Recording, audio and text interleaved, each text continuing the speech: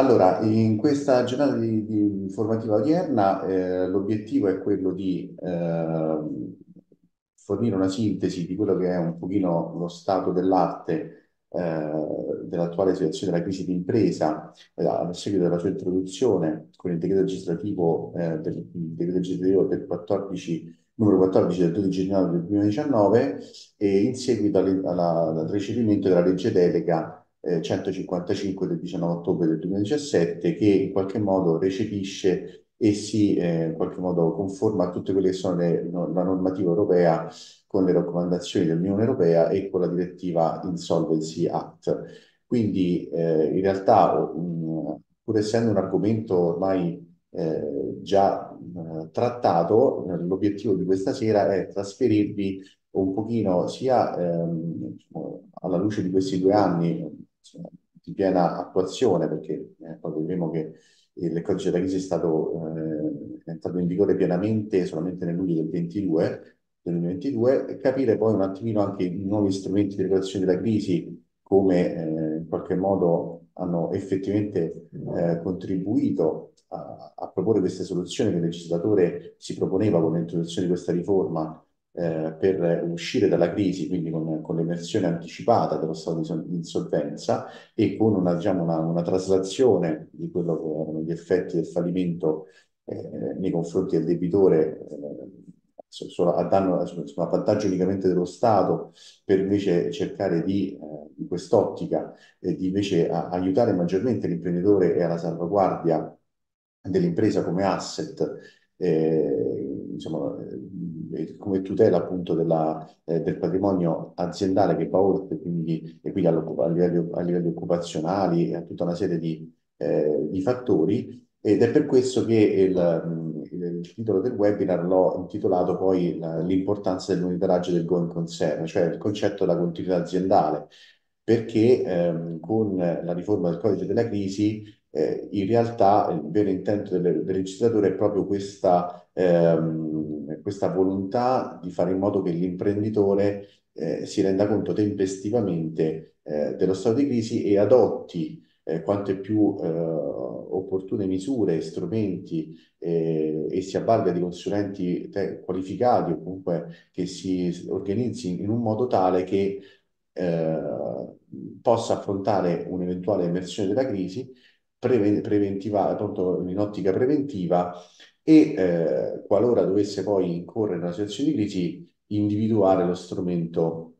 più idoneo, più snello e più efficace ai fini di una, di una corretta eh, regolazione della, della stessa, eh, della fase di crisi stessa, sperando che appunto la stessa sia reversibile. Ehm, quindi, come dicevo, eh, l'entrata in vigore c'è stata nel 15 luglio del 2022 eh, come dicevo, eh, c'è stata un'evoluzione storica che eh, sì, dalla, prima, dalla riforma del diritto sociale del 2005 si è eh, tentato di tutelare maggiormente la produttività dell'impresa, i livelli occupazionali in linea appunto con il contesto europeo ed internazionale. Si è voluto poi sistemare in un modo più organico e complessivo tutta la materia concorsuale che ricordiamo prevede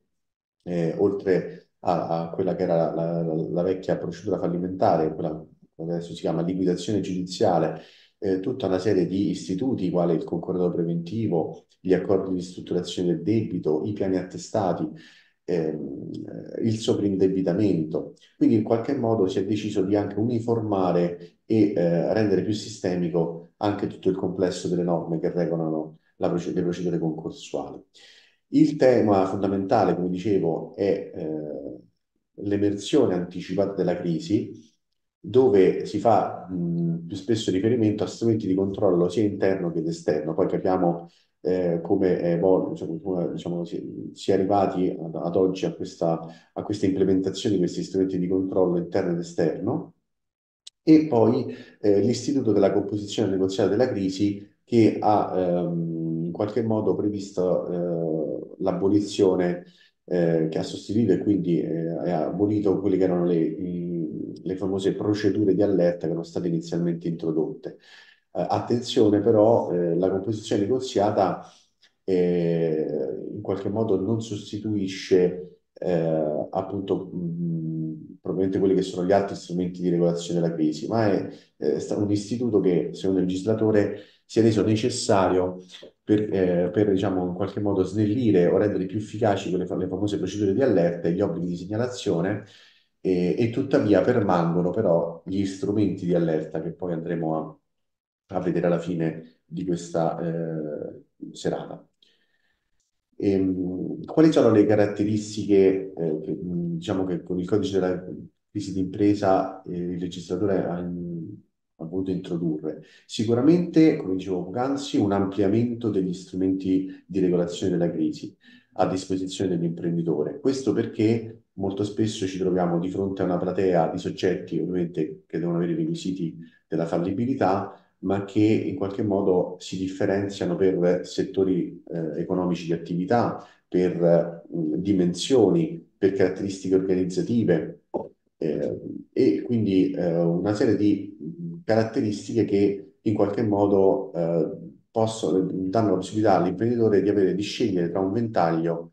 di eh, strumenti più opportuni, eh, dove ovviamente gli advisor qui forniscono un ruolo fondamentale anche nell'accompagnare eh, la giusta, la corretta scelta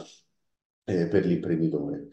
E inoltre eh, si è voluto garantire una maggiore appunto, flessibilità e adattabilità, questo perché? Questo per in qualche modo evitare eh, le lungaggini o comunque i tempi molto lunghi eh, riferiti a, proced- alle procedure diciamo, sia concorsuali che quelle fallimentari. Eh, con, i, con il passaggio alle curatele e quant'altro. Quindi in qualche modo si vuole anche eh, dare una maggiore eh, anche celerità a questo tipo di, di, strumenti perché più velocemente si riesce a risanare l'impresa e ovviamente maggiori sono i vantaggi per tutti, anche per gli stakeholders e tutti i creditori o tutti comunque i soggetti economici coinvolti eh, attorno diciamo, allo stato di crisi e di insolvenza eh, dell'imprenditore eh, stesso.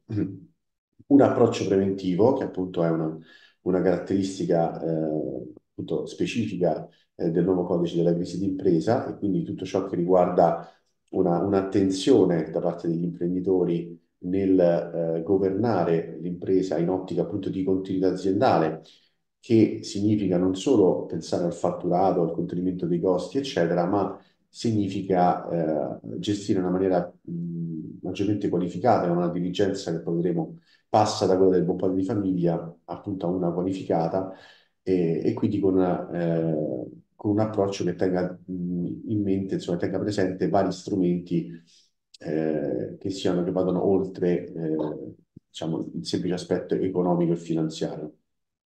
Il coinvolgimento degli stakeholder, ovviamente perché dico questo? Perché con la riforma del codice della crisi eh, diciamo che una forte enfasi è stata data anche al, alla possibilità del debitore di accordarsi con eh, i principali creditori, quindi possono essere questi fornitori, eh, dipendenti o eh, agenzie fiscali eh, e, e, previdenziali. Ehm, questo perché, ehm, sempre nella logica della concorsualità, della par condicio creditorum, in qualche modo si vuole comunque garantire una, una certa eh, anche celerità e un maggiore efficientamento, una maggiore efficienza, scusate, sulla, sull'ottenimento poi della, eh, cioè sul superamento della crisi e quindi in qualche modo eh, questi strumenti sono eh, diciamo, stati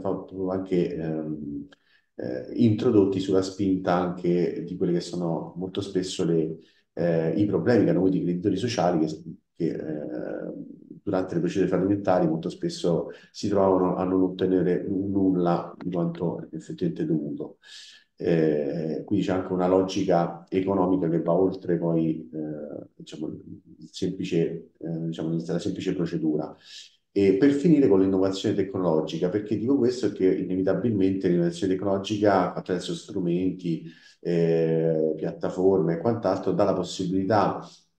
all'imprenditore di poter gestire in maniera efficiente eh, la propria azienda e quindi eh, provvedere a eh, insomma, a, a, dotare la propria azienda di strumenti, anche software o comunque qualsiasi tipo di livello tecnologico volto al controllo eh, questa, della sua situazione. Si parla molto spesso di cruscotti aziendali, di software che, ti, eh, che hanno la possibilità di monitorare alcuni indicatori, eccetera. E vediamo poi adesso al, al punto, diciamo, centrale della trattazione mia questa sera, che riguarda appunto ehm, eh, il concetto di adeguato assetto organizzativo. Perché dico questo? Perché ehm, con eh, l'articolo 375 del Codice della Crisi, eh, l'introduzione, diciamo, della- dell'adeguato assetto organizzativo diventa un vero e proprio obbligo. Quindi in qualche modo eh, con eh, la locuzione che l'imprenditore societario o collettivo ha il dovere di istituire un assetto organizzativo, amministrativo e contabile adeguato alla natura e alle dimensioni dell'impresa, anche in funzione della rilevazione tempestiva della crisi e della perdita della continuità aziendale, qui dicevo il concetto del going concern, nonché di attivarsi senza indugio per l'adozione e l'attuazione di quegli strumenti previsti dall'ordinamento per il superamento della crisi e il recupero della continuità aziendale. Quindi questo, eh, questo diciamo, articolo è fondamentale e mh, quello che vorrei trasferirvi oggi è diciamo, l'importanza che anche dal punto di vista professionale questo ha un impatto per eh, le organizzazioni che seguiamo, le società, i nostri clienti o comunque eh, perché in qualche modo, eh, anche confrontandomi con eh, colleghi o avvocati, ci troviamo di fronte al fatto che eh, istituire un adeguato assetto organizzativo non ricade più in una facoltà o in una eh, diciamo, scelta che può fare l'imprenditore per essere più virtuoso, ma in realtà eh, in questo momento, eh, appunto con il, con, a partire da luglio 2022, è un vero e proprio obbligo. Poi, ovviamente, da qui sappiamo che eh, il cambiamento alla cultura manageriale aziendale eh, si può sempre in qualche modo scontrare con quello che è la prassi, con quello che è, diciamo, il, eh, la fatica, la fatica al, al cambiamento, no? di alcune, eh, di alcune prassi e di alcune azioni, soprattutto se spesso sono imposte dalla legge, eh, per quanto riguarda alcuni imprenditori, quindi in qualche modo è il nostro compito sicuramente assistere eh, i nostri clienti affinché ehm, questo adeguato assetto venga in qualche modo implementato. Perché dico questo? Perché alla fine poi, e lo vedremo più in seguito, cominciano ad esserci delle sentenze del tribuno, dei tribunali eh, specializzati in materia di imprese ehm, che com, diciamo, in qualche modo eh, cominciano a, eh, a pronunciarsi sui mancati adeguati assetti organizzativi eh, fornendo anche magari dei chiarimenti su quello che può essere eh, diciamo, definito come adeguato, okay? perché poi qui ovviamente all'adeguatezza eh, solo la giurisprudenza ce lo potrà in qualche modo aiutare a definire, in quanto ad oggi si può eh, solamente riferirsi al fatto che eh, l'adeguatezza sta in base alla natura alle dimensioni e alla complessità dell'attività svolta dall'azienda. Quindi concetti abbastanza, diciamo, intuitivi ma anche abbastanza generici. Quindi, eh, dicevo, le, le, sentenze che si pronunciano sul mancato assetto organizzativo spesso ricadono poi in sanzioni pesanti anche come azioni di responsabilità nei confronti degli amministratori e quindi un cambiamento diciamo epocale eh, in termini di, eh, da questo punto di vista giurisprudenziale, in termini di risarcimento del danno nei confronti di mala gestione eh, de, appunto degli amministratori. Quindi, mentre per esempio la 231, che comunque ormai è più consolidata, è stata introdotta vent'anni fa e comunque ancora non è obbligatoria se non per alcune eh, dimensioni eh, aziendali o comunque per alcune scelte eh, dell'imprenditore, la, eh, l'adeguato assetto organizzativo con eh, il 2086 del codice civile eh, attualmente rappresenta un obbligo. Quindi questo non significa che attualmente gli imprenditori non ce li abbiano, però è giusto, a mio avviso, fare un assessment e fare una fotografia di quello che attualmente un imprenditore ha in dotazione o diciamo in qualche modo eh, abbia implementato alla luce di questi due anni dall'introduzione del codice. E questo perché l'adeguato assetto organizzativo amministrativo e contabile dovrebbe, quantomeno si presume, eh, contribuire a una, eh,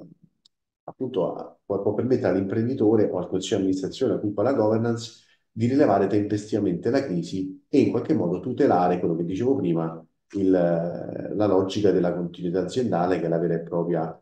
eh, che è l'aspetto fondamentale che caratterizza l'impresa in bonus rispetto all'impresa in in crisi.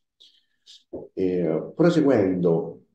eh, su, per quanto riguarda gli adeguati assetti eh, organizzativi, e quindi sugli obblighi. Um,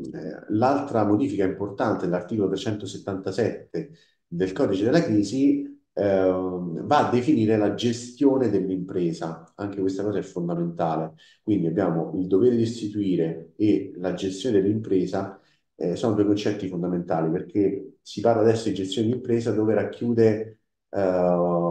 una, appunto, come dicevo prima, prima all'inizio della trattazione, non più una dirigenza richiesta agli amministratori del cosiddetto buon padre di famiglia o in buona fede, ma si presume una dirigenza qualificata. Qualificata si intende che chi governa l'azienda deve avere una specifica competenza, non deve avere conflitti, non deve in qualche modo,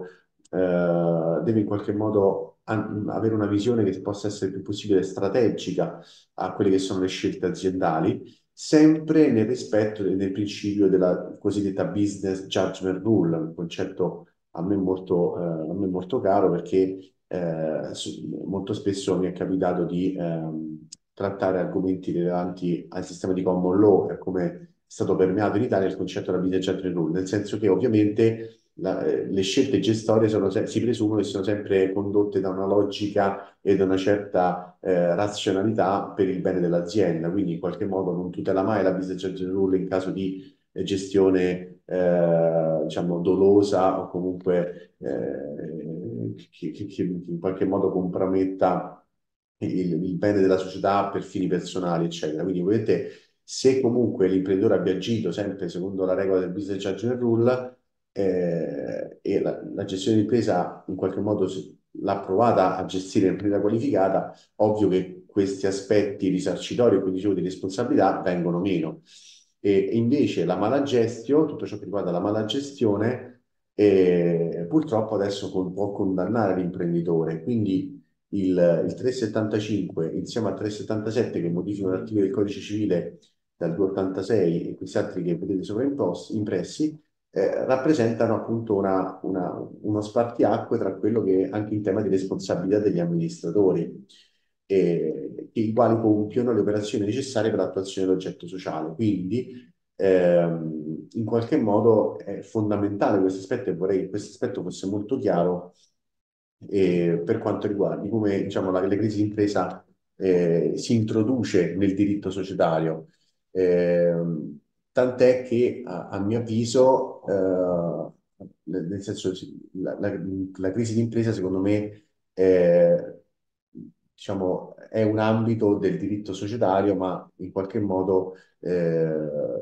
è un, un, aspetto influente del diritto societario proprio perché secondo me con la crisi d'impresa non si intende solo l'aspetto patologico eh, che l'impresa sta attraversando, bensì dovrebbe essere eh, tutto una, un, un corpus di norme che devono essere propri di chi, di chi diciamo, si occupa di diritto societario in ottica appunto di consulenza, quindi come, eh, appunto come, come advisor, quindi proprio nell'ottica della prevenzione, ma soprattutto a maggior ragione perché queste norme sono andate a modificare degli articoli del codice civile. E sulla responsabilità degli amministratori, come spiegavo poc'anzi, eh, loro rispondono verso i, i, creditori sociali per l'inosservanza degli obblighi inerenti alla conservazione dell'integrità del patrimonio sociale, che è, ehm, e, e, diciamo, anche su questo aspetto un concetto fondamentale, l'adeguato assetto organizzativo prevede delle vere e proprie procedure eh, che devono garantire la tutela del patrimonio sociale. Okay? Ehm, e, e um, in estrema, eh, sì, poi vedremo eh, successivamente. l'azione ovviamente può essere proposta dai creditori quando il patrimonio risulta insufficiente al soddisfacimento dei loro crediti e, e la rinunzia eh, dell'azione da parte della società non impedisce l'esercizio dell'azione da parte dei crediti sociali. Poi in realtà le sentenze che, ehm, la sentenza che vi ho, che ho, appunto, trovato recentemente, di cui una molto recente del 19 gennaio 2024, in quel caso l'azione di responsabilità è stata mossa dal curatore verso appunto eh, una, una, un procedimento di limitazione giudiziale nei confronti degli amministratori che hanno palesemente violato gli obblighi eh, inerenti alla conservazione dell'integrità del, del patrimonio sociale, compiendo poi una serie di di, di, di, atti, di azioni a danno della società, depavorando il patrimonio, delle, diciamo, attuando anche delle condotte diciamo, illeciti, di illeciti di natura anche eh, tributaria e quant'altro. Quindi Eh, ecco perché è importante, eh, diciamo, eh, ecco perché la crisi d'impresa ha un duplice binario, un aspetto sicuramente civilistico volto a un miglioramento e efficientamento della parte aziendale, ma anche dal punto di vista penalistico una- un'attenzione alla responsabilità degli amministratori. Eh, e quindi qui, come spiegavo, si è accertato la responsabilità degli amministratori, ehm, il danno si presume essere pari alla differenza tra il patrimonio netto alla data di apertura della procedura concorsuale e il patrimonio netto determinato alla data in cui si è verificata una causa di scioglimento, di cui l'articolo 2484. Ehm, considerate che in questa sentenza eh, questa, diciamo, questo danno risarcibile quantificato su questa, eh, basato su questa definizione all'interno appunto di una procedura concorsuale, perché in questo caso era un- appunto una limitazione giudiziale, eh, è stato stimato in circa in oltre un milione di euro da degli amministratori. Quindi capite insomma eh, la portata e la rilevanza eh, dell'articolo 378. Ora, sul, eh, sugli adeguati assetti organizzativi, ehm, per- il focus qual è? Il focus è, que- è quello di cercare di capire che cosa si intende per adeguato assetto organizzativo, che come dicevo prima, ad oggi non è che abbiamo una chiara definizione, sicuramente eh, vanno in qualche modo implementati appunto a seconda della natura, della dimensione e dell'attività economica svolta dalla- dalla- dall'organizzazione. Per questo che è importante fare una valutazione sempre eh, specifica sulla fattispecie concreta sull'azienda che ci troviamo, eh, sull'azienda che in qualche modo si trova eh, ehm, a volersi adeguare appunto a questo, a questo obbligo. Quindi in qualche modo il Consiglio nazionale, per esempio, dei, dei, dei- commercialisti e degli esperti contabili ha messo a disposizione una checklist eh, che, eh, che in qualche modo eh, stabilisce una valutazione di quelli che sono gli adeguati assetti organizzativi, una sorta di, di test, di questionario eh, di circa eh, 20 domande, 21 domande, che vanno da, da, diciamo, da quale, eh, se, se l'impresa è dotata da un funzionigramma, se ci sono particolari procedimenti di selezione del personale, se ci sono, se sono, se l'impresa è dotata di certificazione, di, di alcune certificazioni, se eh, in qualche modo si è eh, implementato il modello 231 e quant'altro. Quindi ecco, questa checklist potrebbe essere utile per una valutazione per l'imprenditore, per capire la, eh, l'importanza della, eh, oppure il gap che ha rispetto all'importanza della- di un adeguato assetto organizzativo e, e quindi più di un, per capire eh, se è dotato di un'efficace ed efficiente organizzazione aziendale. Eh, perché l'organizzazione aziendale in qualche modo, come dicevo, è alla base di tutto ciò che, eh, soprattutto in tema di, ehm, di governance, è fondamentale affinché eh, diciamo, la- eh, l'impresa tu- tuteli la propria, la propria continuità aziendale e in qualche modo sia eh, sempre più performante. Si passa quindi, come dicevo, dalla dirigenza del buco di famiglia a questa cosiddetta dirigenza qualificata. E poi ci sono altri due concetti eh, fondamentali. Il primo, che, cioè l'ultimo che dicevo sull'adeguatezza, sarà la giurisprudenza man mano a, a- a- con i vari casi a- ad aiutarci a capire eh, in quali casi si è trattato di un adeguato assetto organizzativo oppure in quali casi l'azienda è stata carente. Ma al di là di questo, eh, un altro fattore fondamentale è l'agire da parte della governance, da parte del- di gestisce l'impresa in modo informato, quindi l'importanza dei flussi informativi. È per questo che poi c'è un, un, diciamo una, eh, un capitolo a parte che ho trattato in questa, questa sera proprio sul workflow management, quindi su quanto è importante il processo informativo, dei flussi informativi e, e come questo si può in qualche modo adottare eh, o migliorare nelle aziende che ovviamente già, eh, già ce l'hanno. Quindi ehm, l'assetto organizzativo eh, in che modo, eh, cioè perché nasce sostanzialmente? Nasce perché ha l'obiettivo di tutelare la- l'impresa dal punto di vista delle strategie da adottare, delle strutture, delle politiche messe in atto al fine di proteggere l'azienda dagli eventuali rischi, da crisi ed eventuali perdite economiche da gestire, da, da squilibri, diciamo, eco- eh, economico-patrimoniali.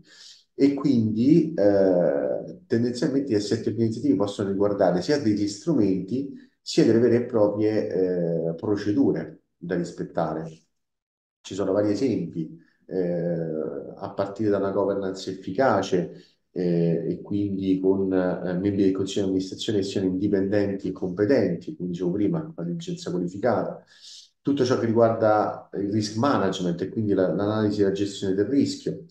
l'aspetto derivante alla conformità delle normative. Eh, in questo siamo in un momento storico in cui c'è anche parecchia enfasi riguardante tutta la possibilità delle aziende di dotarsi di determinate certificazioni che gli garantiscono i vari rating di legalità, sostenibilità e quant'altro. Non ultimo l'introduzione del whistleblowing, eh, il tema ESG, quindi la, la logica della sostenibilità, le certificazioni di parità di genere, eh, alle più consolidate compliance riguardanti la 231, la privacy e l'antiriciclaggio. Beh, ecco, questo sicuramente aiuta e contribuisce ad avere un adeguato assetto organizzativo, ma attenzione, sono due cose separate, cioè non è detto che se io sono, ho una conformità alla normativa significa che poi necessariamente rispondo di un adeguato assetto organizzativo. Per questo va sempre analizzata la fattispecie concreta dell'azienda, perché magari posso semplicemente ehm, essere compliant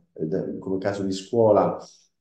a quello che mi chiede la normativa, ma poi in realtà eh, ci sono delle falle nella, nella, nella, gestione, nei flussi informativi e nel, eh, nei, nei, poteri e nelle deleghe attribuiti poi a, ad amministratori e dipendenti nella, nella gestione dell'impresa. Quindi in qualche modo eh, questi sono degli strumenti che ovviamente vanno valutati nel complesso nella logica della, della, della, della vita aziendale. Così come è importante, eh, sono importanti le politiche di gestione del personale, perché come dicevo prima, eh, sarebbe opportuno anche eh, attuare delle politiche retributive competitive per attrarre e soprattutto trattenere dei talenti chiave eh, sia per lo sviluppo eh, dell'azienda sia in ottica strategica. Quindi eh, questo è una, un, adeguato, un assetto organizzativo che sarebbe utile in un ufficio delle risorse umane di un'azienda, così come eh, programmi di sviluppo professionale e formazione professionale continua all'interno proprio del, dell'azienda stessa, per una continua formazione di dipendenti. Eh, tutto ciò poi che riguarda la, la, la, sicurezza informatica, ovviamente, e connessa poi strettamente alla privacy, Mm, e eh, che altro dire, eh, in maniera della, della governance ho già detto ampiamente, l'organo di controllo ovviamente qualora nominato nell'impresa che eh, è in crisi deve ormai adeguare le proprie verifiche, i propri controlli sulla base di tutto questo che abbiamo detto, quindi sulla valutazione dell'adeguato assetto organizzativo che una volta era quello che era amministrativo e contabile, e ma quindi adesso molto più denso, quindi con, con molti più aspetti da, da considerare, e, e um, il tutto sempre nel rispetto della regola della BCG Rule che ho, che ho spiegato poc'anzi, che, um, che ovviamente non si può sindacare un'eventuale scelta gestoria se non viziata da un'evidente razionalità e logicità. Però è anche vero che eh, l'adeguato assetto organizzativo può contribuire sicuramente nel, eh, nel far gestire al meglio all'imprenditore quella che è stata anche la sua scelta eh, di un investimento piuttosto di una, di una determinata scelta aziendale eh, che poi probabilmente non, non, non, si rivela opportuna o non si rivela positiva per l'azienda, quindi ci può stare anche questo il caso, però non è che può essere condannato l'imprenditore o il manager di un'azienda se in qualche modo ha fatto una previsione che poi non è andata come eh, si pensava. Rispe ripeto, sempre se non viziata da un'evidente irrazionalità, illogicità o comunque una certa fraudolenza. E mi permetto poi di eh, indicarvi l'Istituto della Mediazione, quale istituto giuridico eh, che eh, per la trattativa contrattuali che diciamo di pari passo con eh, il fine della composizione negoziata eh, della crisi eh, può essere uno strumento considerato come adeguato assetto organizzativo dell'impresa. Questa è una cosa molto importante, perché la mediazione è stato sempre un istituto poco praticato, comunque, e invece, a mio avviso, in, in tutti i contratti, o comunque con i fornitori e quant'altro, istituire o tentare comunque, come, avere come prassi, come procedura all'interno dell'azienda, la mediazione eh, che è volta appunto a dirimere una controversia, ad, ad, ad, ad attuare accordi transattivi, potrebbe rilevarsi strategica e funzionale eh, per una corretta gestione dell'impresa e, e, quindi anche questo eh, nell'ottica più generale di preventiva, eh, diciamo di, di, di emersione anticipata della, della crisi. Ora, trattando, ehm, un pochino poi al, alcuni esempi pratici sulla base di quanto spiegato poc'anzi sugli adeguati assetti, i principi di una corretta organizzazione, i principi base di una corretta organizzazione aziendale eh, possono desumersi da delle, da, da, dall'attuazione di best practices cosiddette, eh, riferibili quindi a una serie di eh, pratiche o procedure che si intendono eh, eh, appunto ehm, attivare nella propria impresa, a partire dall'organigramma, diciamo, di, diciamo ehm, diramati poi in funzioni grammi e eh, al cosiddetto mansionario, questo per avere chiaro poi il sistema di poteri e di deleghe come vengono attribuiti, sia per fini decisionali sia per fini operativi, aggiornare e efficientare eh, i sistemi di procedure, eh, e quindi per procedure intendo dire l'attività di programmazione, l'attività di pianificazione e di controllo, che sembrano, diciamo, soprattutto programmazione e pianificazione possono essere concetti molto simili, in realtà eh, lo sono, ma eh, c'è un aspetto fondamentale che li differenzia, che la programmazione sostanzialmente è un'attività che viene fatta giorno per giorno, comunque molto a, a breve termine. Nella pianificazione ha un senso molto più eh, strategico di lunga durata e, um, che può prevedere anche un arco temporale di qualche anno e deve essere fatto in modo che questo però, questa pianificazione deve essere poi supportata e ovviamente da eh, eh, da un controllo che viene fatto poi eh, nel corso delle, delle azioni, delle implementazioni. Da qui il concetto appunto di controllo non è solamente il controllo di gestione, che è appunto un altro tipo di, eh, un altro principio di una corretta organizzazione aziendale, ma è un controllo che ehm, deve tener conto di, della situazione economica in cui si trova eh, eh il paese dove opera l'azienda in quel periodo, se ci sono eh, delle situazioni invece che possono comportare particolari agevolazioni, ehm, controllo che può essere di natura appunto normativa eh, o una nuova normativa piuttosto che eh, un nuovo riassetto per delle decisioni strategiche. Insomma, diciamo, l'attività di controllo è molto più ampia rispetto a semplice attività di controllo di gestione, che eh, diciamo, risulta essere poi fondamentale implementarlo, che penso che ormai tutte le aziende eh, lo hanno o internamente o affidandosi ad advisor esterni, perché il budget insieme all'attività di reporting eh, in qualche modo contribuiscono in ottica di crisi d'impresa a, eh, a, a, diciamo, a, fornire quel famoso cruscotto aziendale che dicevo poc'anzi, e ci sono appunto anche dei software che lo fanno, ma in generale il senso è quello di eh, in qualche modo estrapolare degli indicatori che, nonostante gli indicatori della crisi sono stati in qualche modo abrogati, eh, come dicevo prima, insieme alle procedure dei sistemi di allerta, però in qualche modo eh, ci sono degli indici che eh, per prassi di economia aziendale eh, stabiliscono se l'azienda si trova in, crisi o in per, diciamo, temporaneo squilibrio, situazione di squilibrio finanziario. Eh, e quindi eh, poi vedremo più in seguito eh, si parla di um, segnali specifici, segnali di allarme, ok? E non proprio di indicatori di allerta proprio perché gli strumenti di allerta non sono stati aboliti, ma sono state abolite le procedure. Ehm, e, e, e appunto la, la, previsione, adesso tratteremo un po' più approfonditamente, dell'idoneo, eh, dell'istituzione di un idoneo flusso informativo, quindi il cosiddetto workflow management. E, ehm, che cos'è il workflow management? Eh, è, sostanzialmente è una, si riferisce alla progettazione, all'ottimizzazione e al controllo dei processi aziendali per garantire un flusso di lavoro efficiente, coordinato e conforme agli obiettivi dell'organizzazione. Attenzione a queste tre definizioni perché eh, molto spesso eh, un imprenditore o comunque un capo di un'azienda comunque un amministratore unico di una SRL eh, molto spesso autorizza dei pagamenti tramite WhatsApp oppure non sa in quel cantiere chi ci sta in quel momento, piuttosto che quell'ordine come è stato fatto, non ha preventivi eh, non ha più di un preventivo, insomma, diciamo a volte c'è un caos dovuto a, eh, al fatto che non c'è una, un coordinamento eh, tra, chi, eh, tra il lavoro e chi, diciamo, decide per il bene dell'organizzazione, per il funzionamento dell'organizzazione e, e, che soprattutto che, che, queste attività vengono fatte in conformità di quello che è eh, gli obiettivi che si pone l'azienda, l'organizzazione in ottica di crescita, di ottimizzazione e di efficienza eh, di tutto quanto, le proprie risorse, e quindi eh, per, per, arrivare appunto per perseguire l'oggetto sociale. Quindi in qualche modo eh,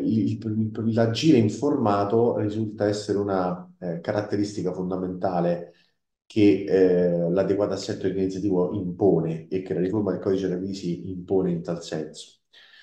E, e quindi in, in, tal senso il workflow management coinvolge l'identificazione delle attività, la sequenza delle operazioni, la definizione delle responsabilità, questo è molto importante, e la gestione delle risorse necessarie per portare a termine un compito o uno specifico processo. Quindi mh, anche in tema di definizione di responsabilità molto spesso è importante avere uh, un, un, gestionale o comunque un, un, sistema di implementazione di workflow management perché eh, questo uh, può essere anche utile uh, per chi implementa una, un modello 231, questo ha una, un impatto eh, non eh, di poco conto su un'eventuale responsabilità eh, di chi governa la, eh, di chi governa l'azienda. Quindi eh,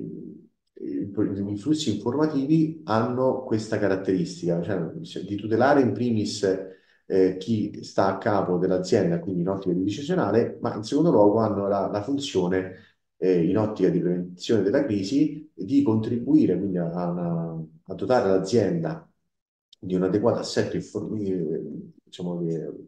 amministrativo e, eh, e appunto con, con, volto quindi a una, una, maggiore efficienza e una maggiore tutela e quindi in ottica del going concern, quindi della, del monitoraggio della stessa continuità aziendale. E, ehm, quindi eh, tra le, caratteristiche fondamentali che, che, danno, che attribuiscono importanza al processo del, del, flusso informativo abbiamo sicuramente l'efficienza operativa, in quanto attraverso l'implementazione del workflow management abbiamo l'ottimizzazione dei processi aziendali, si riducono i tempi di esecuzione e l'uso delle risorse, vengono eliminate attività superflue e si vengono ottimizzate sequenze di operazioni per massimizzare la produttività complessiva. Vi è il controllo della tracciabilità, che questa cosa è fondamentale, in quanto vi è una visione chiara e dettagliata dello stato dei processi in corso, pensiamo a tutte le aziende che operano con i SAL, con il stato avanzamento lavori, con gli appalti, questa, questa logica è fondamentale. Consente quindi anche di monitorare il progresso delle attività e identificare eventuali blocchi o ritardi in modo tempestivo. Questo anche perché eh, è fondamentale, perché una qualsiasi amministrazione di un'azienda di un certo livello eh, sa che eh, tutto il processo poi è legato all'elemento della fatturazione, dell'incasso che scaturisce il credito del cliente, eccetera. Quindi tutto un processo virtuoso che se si blocca per, perché non c'è una, una, un giusto monitoraggio, si perde un tassello, ov ovvio questa poi è una conseguenza anche economica e da qui appunto potrebbe essere anche potenzialmente un indicatore di allerta, no? In quest'ottica. Quindi poi il, quello che era viene detta la standardizzazione e consistenza, nel senso che vengono assicurate che le attività vengono eseguite in un modo uniforme, standard, eh, a quello che si, è conforme a quello che si è deciso come strategia aziendale, riducendo quindi il rischio di errori umani e di garantire la coerenza nei risultati finali. Eh, per questo che ovviamente per ridurre il rischio di errori umani vengono generalmente poi adottati dei sistemi tecnologici digitali che possano essere d'aiuto nel, customizzati ovviamente all'esigenza aziendale.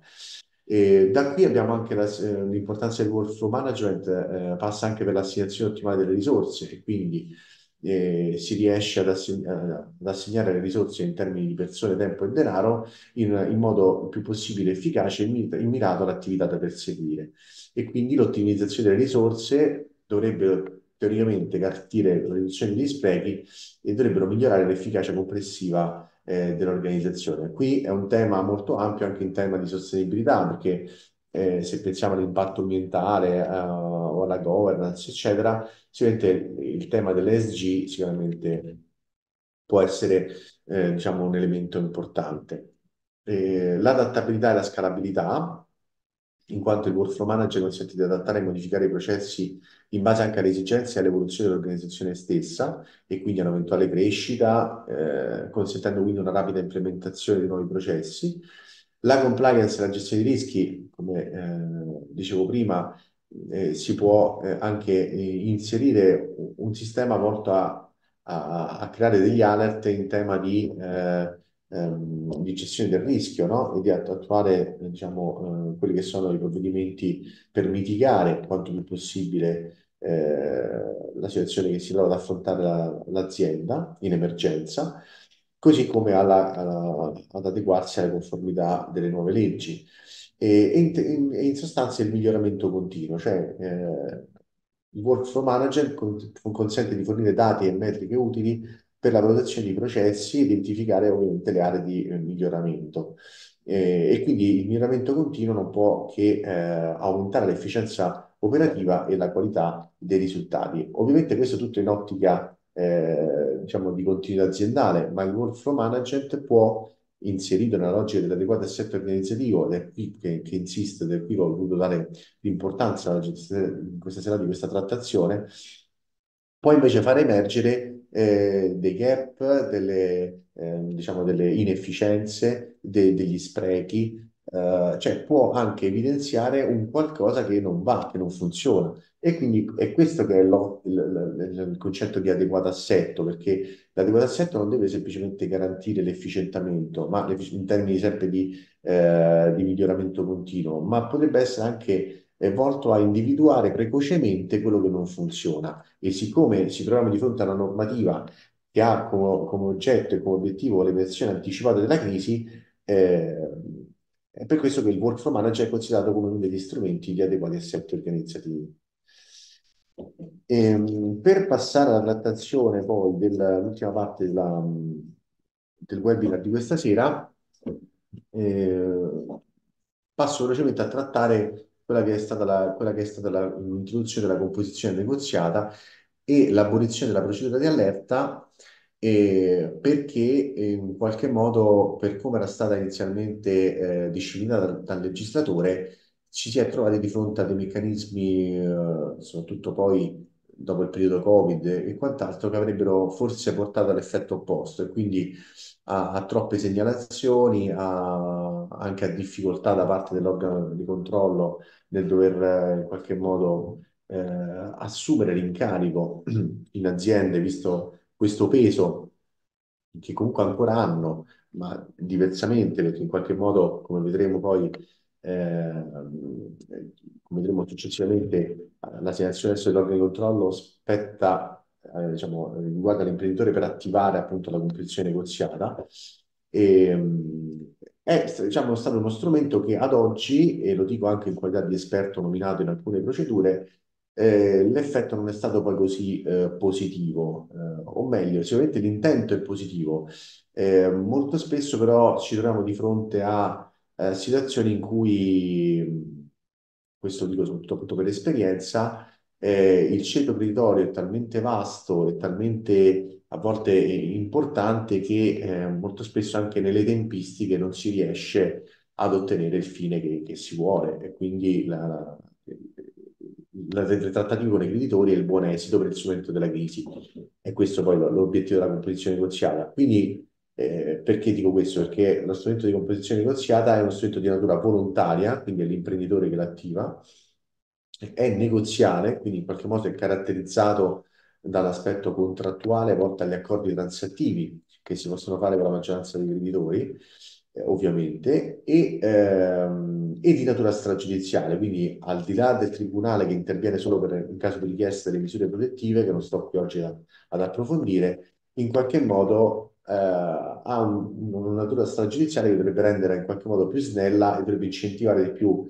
sia l'imprenditore ma anche i creditori a trovare un accordo per cercare di assicurare la continuità aziendale per intesa come valore completo del patrimonio e sia del, eh, della, diciamo, della, della-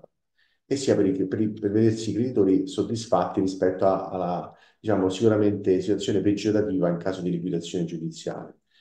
Ehm,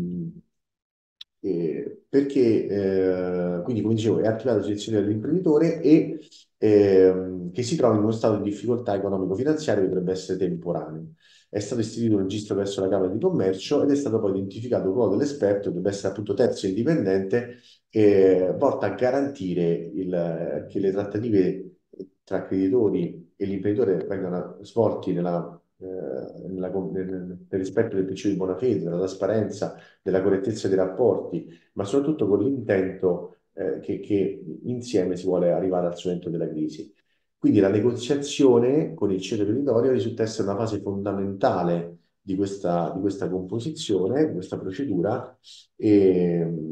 nonostante poi c'è una fase ovviamente burocratica eh, che riguarda tutta la documentazione da presentare, come il bilancio degli ultimi tre esercizi, eh, l'elenco dei creditori, un piano finanziario che, che garantisca il piano di risanamento eh, in un'ottica eh, di lungo periodo, eh, altre informazioni sulla situazione debitoria, vari certificati di regolarità fiscale e, e contributiva, eccetera. Quindi c'è sempre una fase burocratica, però la fase centrale è sicuramente l'enfasi data alla negoziazione con il territorio. E come dicevo, alla luce di questi, eh, di quando è stata introdotta, eh, alla luce di questi, di questi anni, posso dire che, almeno dal punto di vista personale, eh, la difficoltà maggiore è stata eh, non tanto nel, nel, nel, garantire il fatto che l'azienda poteva risanarsi, ma nella tempistica e nel fatto che eh, molto spesso in procedure molto grandi mh, il tempo non aiutava nella, nel perfezionare le negoziazioni con tutti i creditori. E altri casi invece sono stati evidentemente eh, diciamo, diciamo, anticipatori e dilatatori di altri strumenti di regolazione, perché noi sappiamo che siccome la composizione negoziata eh, una, non è un, considerato uno strumento di regolazione della crisi previsto dal codice, quindi come il condato, eh, l'accordo di strutturazione debiti, eccetera, e molto spesso alcune aziende utilizzano lo strumento della composizione negoziata per andare avanti altri sei mesi e poi traghettare il concordato e così via. Quindi in qualche modo eh, a volte ci si trova anche di fronte a queste situazioni. E, ehm, quando, eh, quindi nella, eh, nella diciamo, composizione negoziata, eh,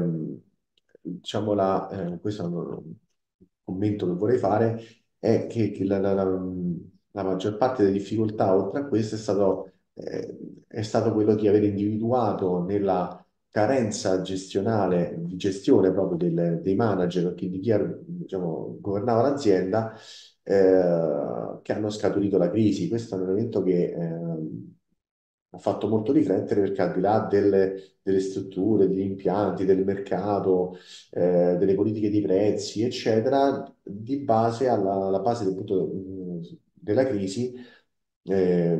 emergeva invece un po' una carenza eh, di quelle che erano le competenze e le visioni della, del management. Quindi in qualche modo, eh, a maggior ragione, a mio avviso, la finalità della, della riforma è, insomma, è, pienamente centrata eh, con l'obiettivo di eh, superare la crisi di impresa in ottica appunto di consul consulenziale, non in un'ottica solo patologica, di fase patologica, proprio perché si vuole far capire, attribuendo la responsabilità agli amministratori in maniera più pervasiva, attraverso appunto il dovere degli obblighi di adeguati assetti organizzativi, eh, in sostanza è quella di far gestire meglio l'azienda.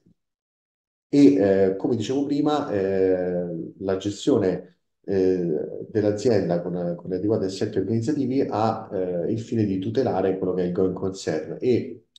la continuità aziendale passa anche per le, tutte quelle che sono le procedure di conservazione del patrimonio sociale perché come, abbiamo, come ben sappiamo agli amministratori è data la gestione di un'azienda che è un complesso di beni che ha eh, una serie di asset strategici fondamentali che spassano da quelli materiali come brevetti, marchi, concessioni, licenze, know-how, avviamento e quant'altro, ai cosiddetti beni materiali che, che in alcuni impianti industriali eh, sono un asset fondamentale, ma tutta anche alla gestione delle rimanenze dei prodotti finiti e merci fino all'asset dei crediti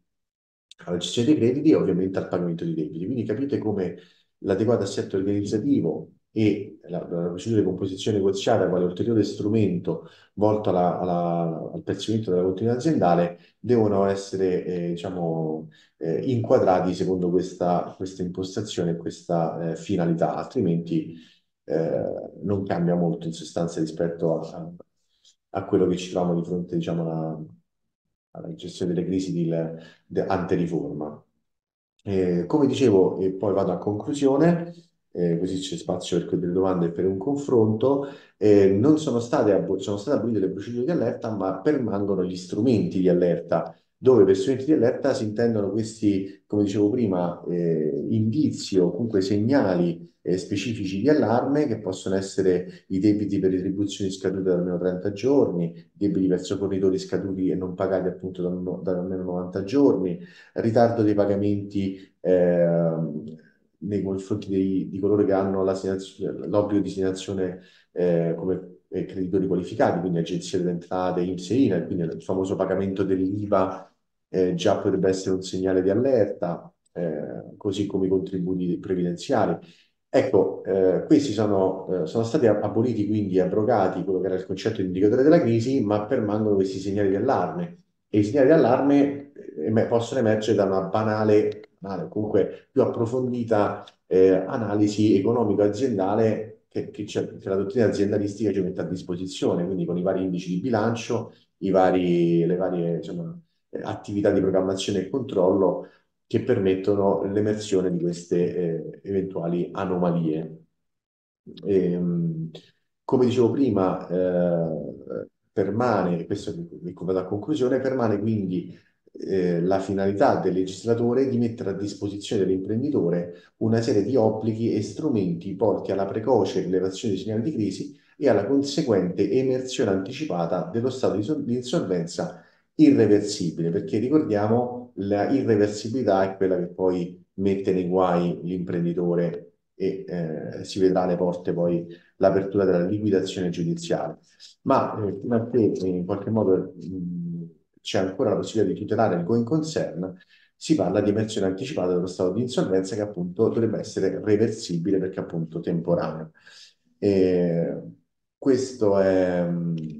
è quanto. Vi ringrazio per la vostra attenzione e potete contattarmi alla mail del centro studi, eh, a questo indirizzo che potete in pressione, oppure attraverso la eh, Ascari Academy, come anche altre volte è stato fatto.